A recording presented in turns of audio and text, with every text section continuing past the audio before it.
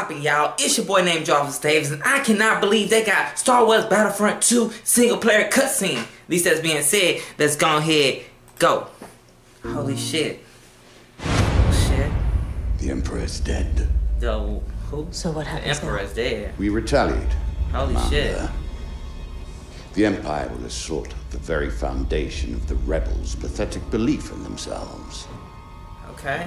Tell me, Iden, what is the source of their belief? Hope. Hmm. Correct.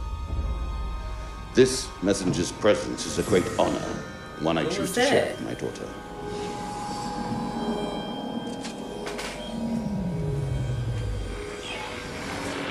What?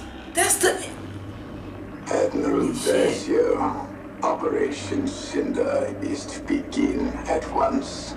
Resistance, rebellion, defiance. Oh my god. These are concepts that cannot be allowed to persist. You are but one of many tools I'm outta by which these ideas shall be burned away. Heed my messenger.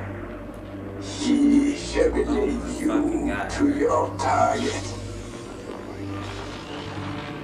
Operation Cinder is the last command of our Emperor. Oh my goodness. and the first step in securing our future.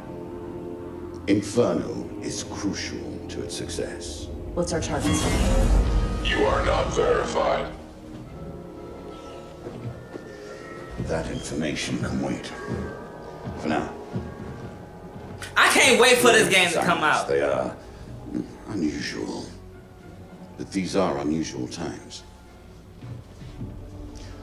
Go, Commander. Oh my god, I cannot wait.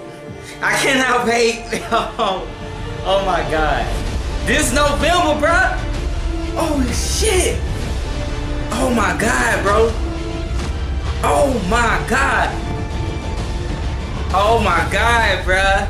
I can't wait, bruh. Oh shit. Damn.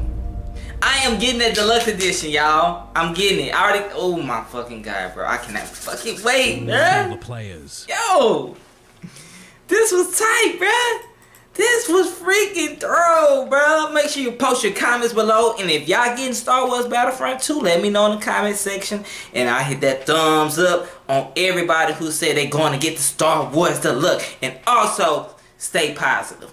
Yeah, peace.